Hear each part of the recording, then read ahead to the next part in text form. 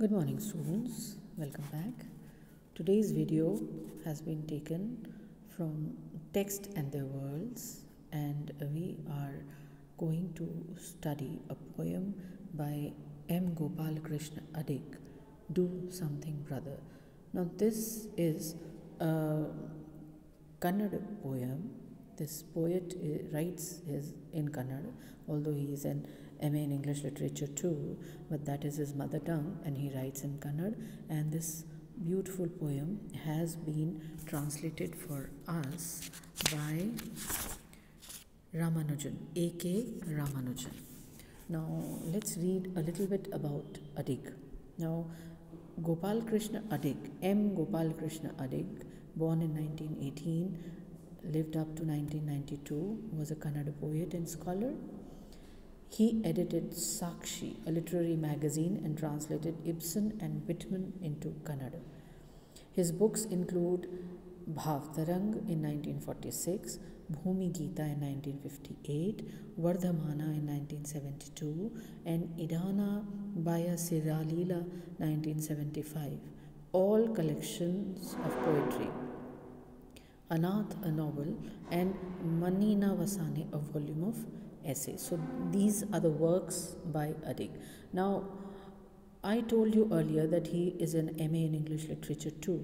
Yes, he did that from Mysore University. So so, Gopal Krishna अडिग बच्चों एक कन्नड़ कवि है और स्कॉलर है इन्होंने एम ए इंग्लिश लिटरेचर में भी किया था मैसूर यूनिवर्सिटी से किया था और बहुत सारा लेखन है, लेकिन सारा कन्नड़ में है।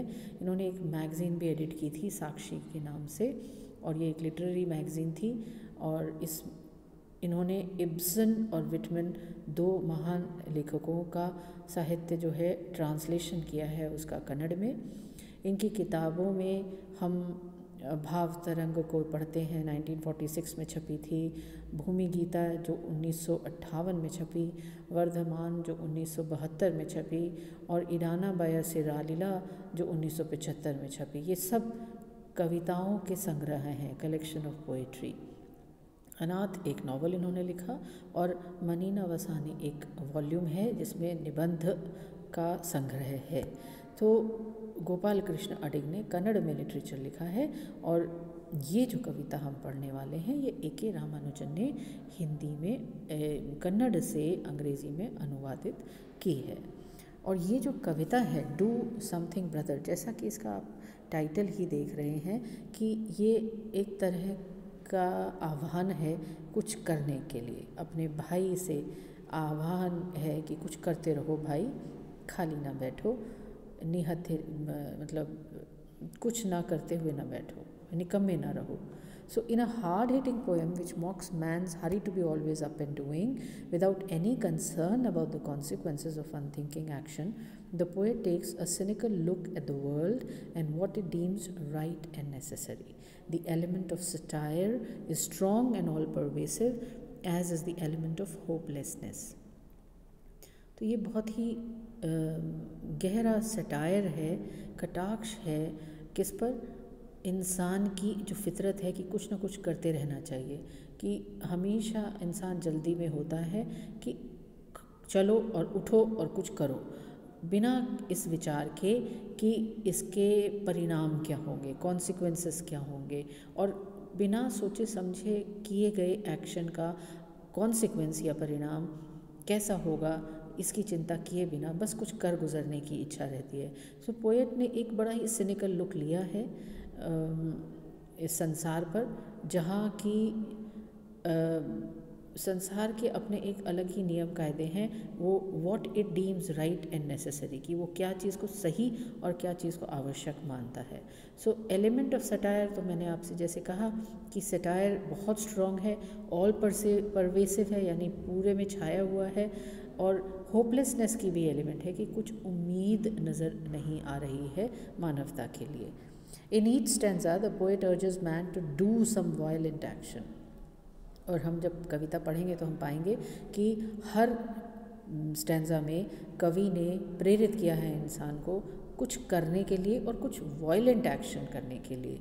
वायलेंट उग्र स्वभाव का जो भी कृत्य होता है, उसको वॉयलेंट एक्शन हम कहते हैं। जैसे क्रश करना, कुचल देना टू निप उसमें कच्चे में ही तोड़ लेना टू पुल डाउन खींच के, खींच निकालना, नीचे गिरा देना to break and so on कभी तोड़ने की बात करते हैं। तो ये ऐसे वाले शब्द आप इस कविता में बहुत सारे पढ़ेंगे जो तोड़ फोड़ मचा रहे हैं।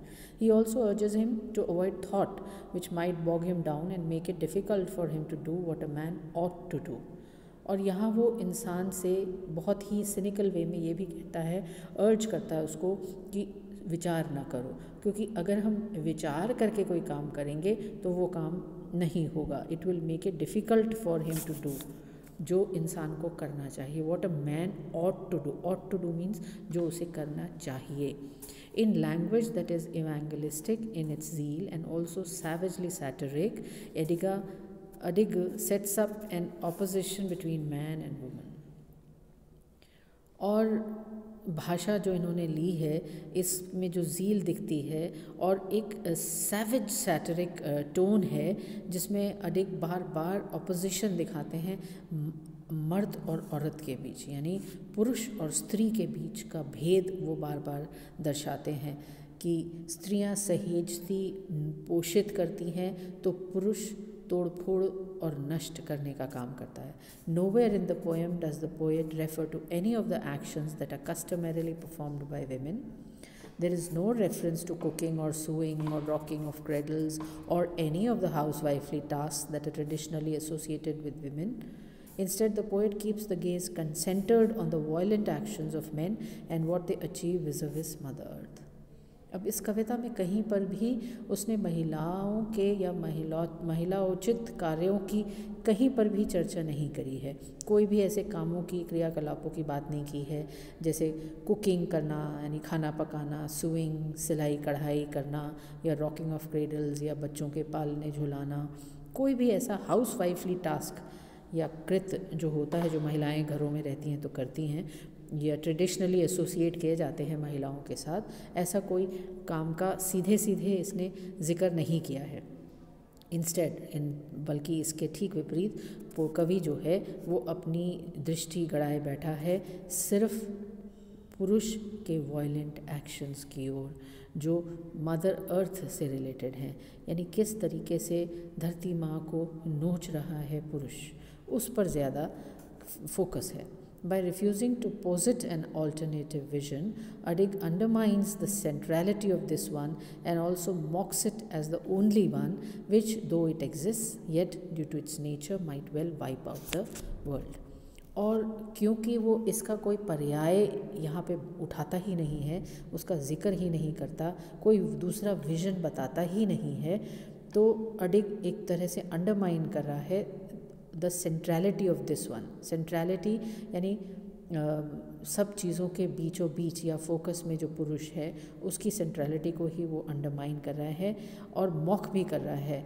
As if it is the only one जैसे यही उसका एक काम है that man can be nothing but violent man can do nothing but destroy तो विच दो इट एग्जिस्ट हालाँकि ये बात सच भी है कहीं हद तक yet due to its nature might well wipe out the world लेकिन अगर ऐसी ही प्रकृति, प्रवृत्ति, पुरुष की रही तो एक दिन हो सकता है कि संसार ही सफ़ा हो जाए, यानी धरती से इंसान का वजूद ही ख़त्म हो जाए।